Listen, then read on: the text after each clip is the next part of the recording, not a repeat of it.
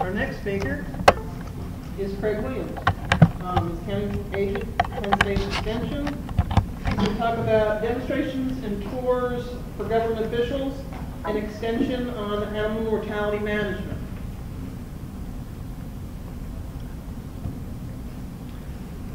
So what I want to talk about is is a little bit of a background of a, an event like this um, and how to put it together, and then also a touch base on what had happened in Lancaster two years ago, which is an event similar to this. Yeah, that's it. And um, give you some background. Some of it's an encouragement that you can do this in your own state, and our government officials, our EPA people um, in Pennsylvania, like our DEP people, they really enjoy getting a meeting together where they can get to go see something. Uh, those of us in, in extension or NRCS or whatever, we tend to have the ability to help put that together, relationships with farmers, and uh, you know do some demos. And there's a lot that goes together in cooperation for that. So it's a little bit of an encouragement talk on um, you can do this or you can you know be involved in one of these in your state.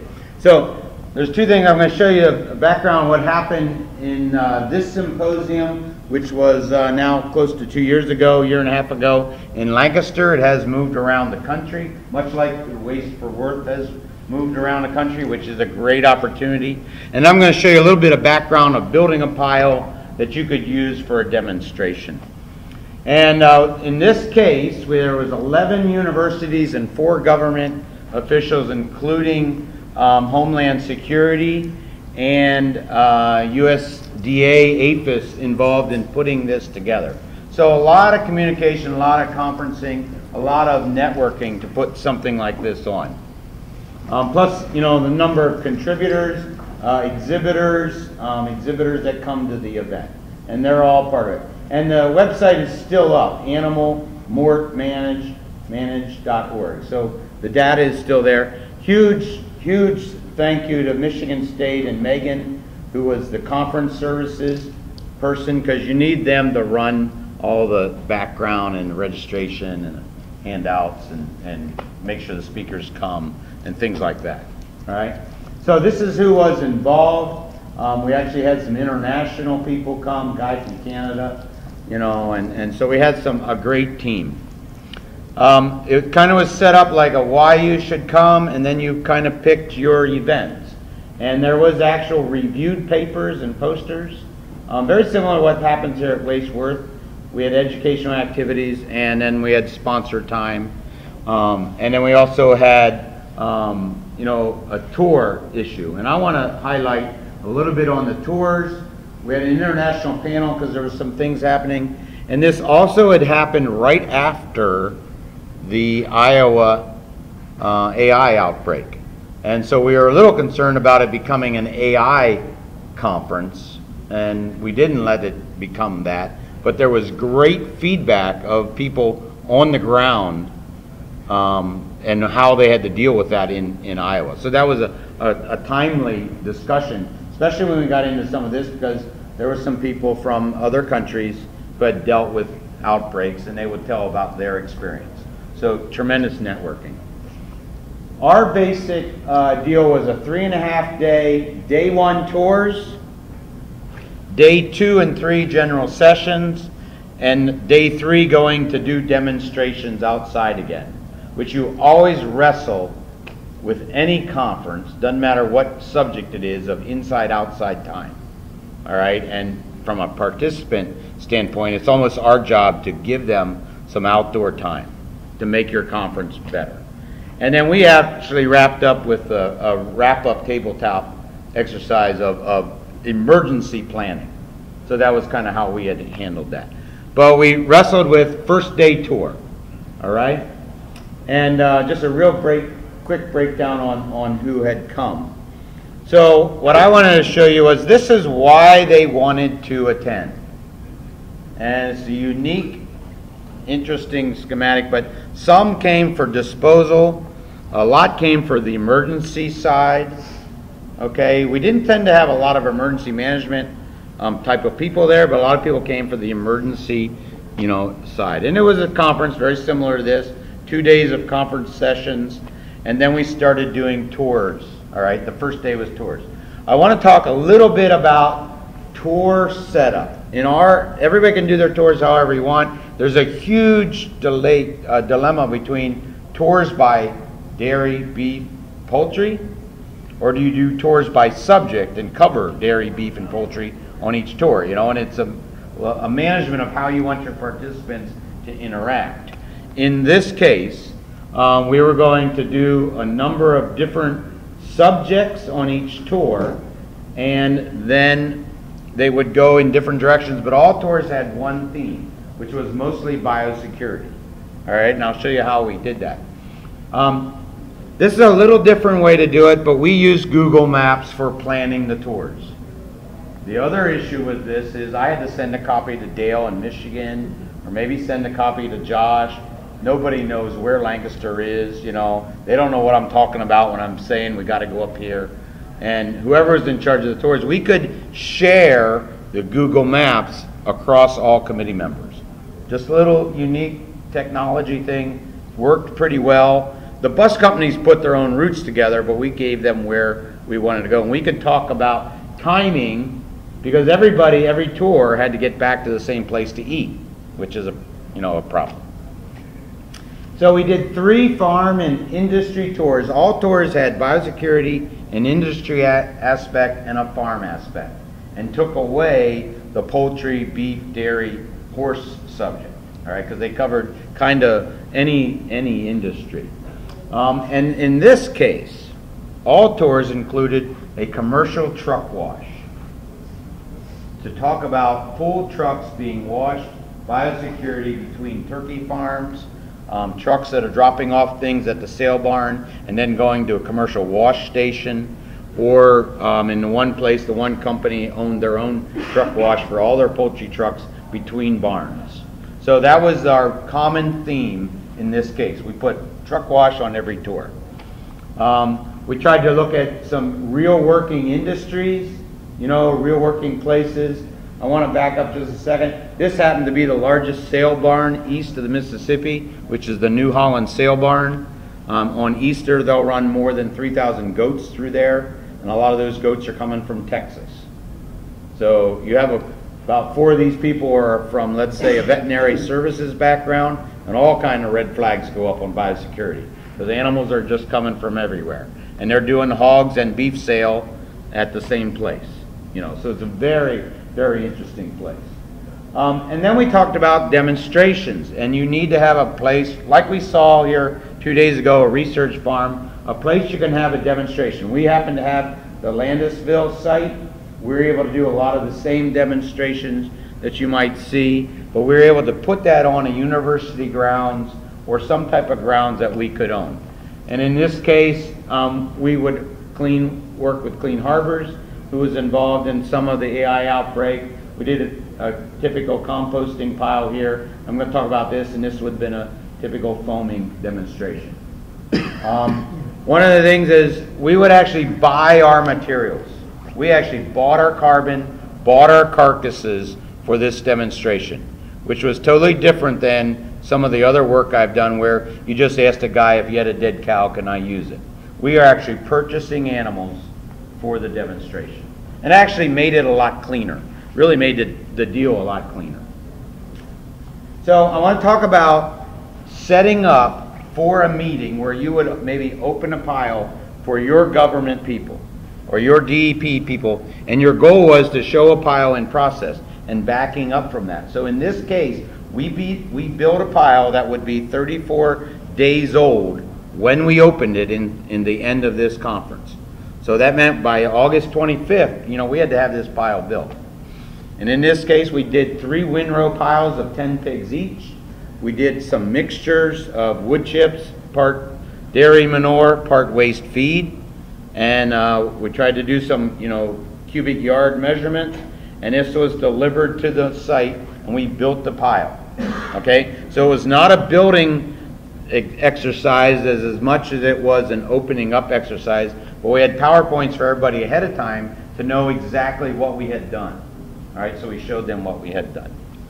All right, This is our pile it's two foot deep. Um, I want you to view this circle right here in the barn because we're going to use this view later in a couple minutes. But this was the pile, three of them, one, two, three, right there. We would actually purchase the hogs. So these were spent hogs, down hogs, hogs that were not going to survive the system. You know, it was very clean. We bought the hogs. He sold them to us for weight and brought them to us. All right, and it actually made a very clean operation for this part. We built the pile, we covered it with five dumps on top, tried to measure as much as we could on building the pile, our top cover, and we finished at about three and a half feet. So that, that thing was about like this tall. Then come tour day, we showed some of these slides in like a poster form, telling them that what we're going to open is 34 days old. All right, and trying to get them to know a time frame. In this case, we used also a litter turner in the issue of rotating a pile with pigs in it. It's not a common use of those two machines together, but we also demonstrated something you might want to use or possibly could use in a different format. And it actually worked in this case pretty good. So we had uh, Zimmerman talked about the, the compost turner. It's an AVI compost turner or litter turner. But then in this case, all you're seeing we're doing is rolling the pile. So we would roll the pile, a couple of them we would open beforehand, show the pig, and then we'd show how we could roll the pile to, to aerate it, move it over. And all it is, the big auger moves over. And then the pile would be opened up and we would talk about it. So one of the unique things is, if I back up just a couple slides real quick. This grinder mixture over here was going on with cow, full cows grinding and wood chips and hay bales, old hay bales. One part, one part, one part.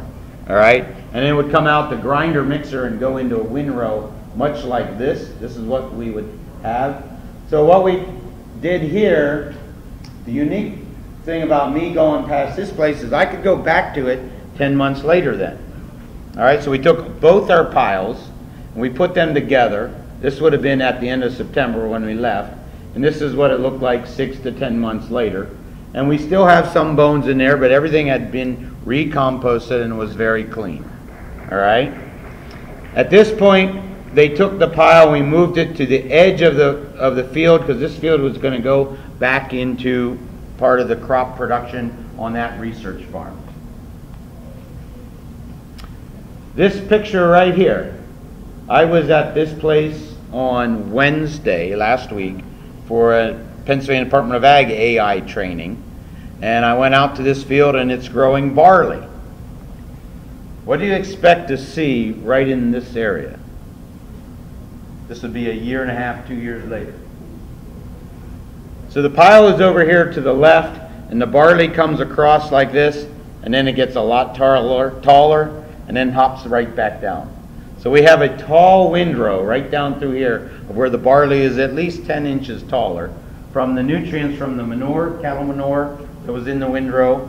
Um, the wood chips leach out some, some from the animals. I'd say we were very carbon heavy, all right, but we had some materials move out of that pile, and that barley is taking that up, all right, and, and we have grown up. Luckily, the barley plots go from here this way, and this is the guest row.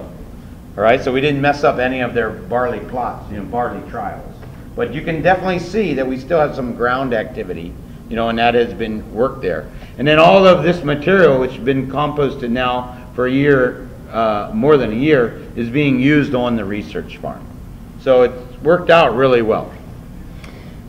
The, the story I would encourage you to do is if you can build a pile that you can open up two months, one month, three months later, you know, and you want to talk about the mortality composting issue, all of us could do that on a, on a situation, and I believe the participants like to see, as much as building the pile, they like to see an end result or a partial done result as a good activity. The other side of this is these meetings, much like the one we're in right now, just as an encouragement, take a tremendous amount of uh, committee support, you know, cooperation, and I think we just should be realizing how much they do. But they're really a great activities, and the talk uh, before that I had done was a direct out, output of seeing a barn from attending another committee meeting, you know, in Michigan, and then using that in another state. So, you know, that kind of just highlights the networking.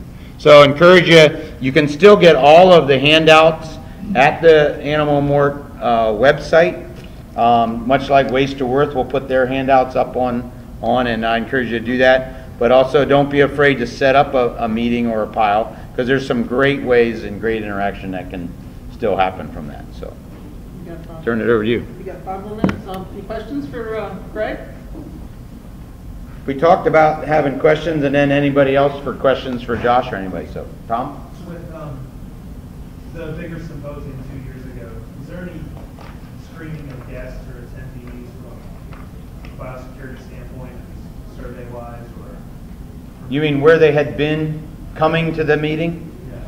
Yeah. Um, there was, um, I believe there was a clause, something about, you know, if you had come from a certain country and be aware of, of where you had been. I don't believe, I don't know if it was a true screening. Um, Tom Glanville, I think, had been, talked a little bit about that.